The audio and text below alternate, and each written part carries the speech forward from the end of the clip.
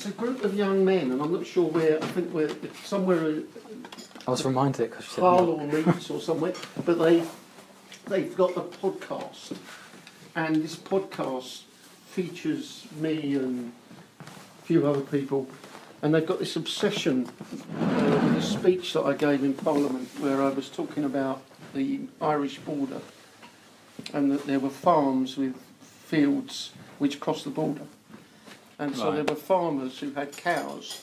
Which were in the north and cows that were in the south This about the babies, and isn't then it? and then, yeah, and I made it, and then I said, and and then they milk the cows in the north, and they milk the cows in the south, and they mix the milk together. They send it off to the factory, and it comes out as milk.